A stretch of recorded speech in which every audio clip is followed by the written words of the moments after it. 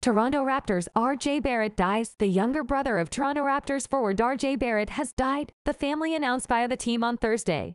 The Raptors and Canada Basketball shared a statement from the Barrett family saying Nathan Barrett died Tuesday, surrounded by his family, church, and friends. No cause of death was given. While our family is devastated by this great loss, we will continue to cherish the memories and time spent together, the statement said. Nathan was a God fearing young man of strong character. He was thoughtful, kind, loving, compassionate, creative, admirable, and driven.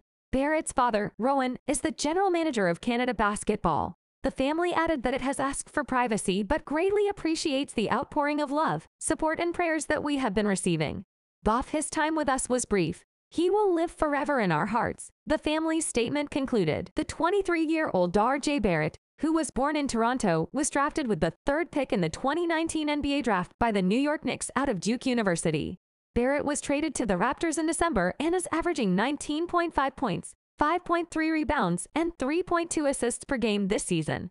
Barrett did not play in the Raptors' 113-104 loss to the Detroit Pistons on Wednesday night, Toronto is next scheduled to play Friday at home against the Orlando Magic.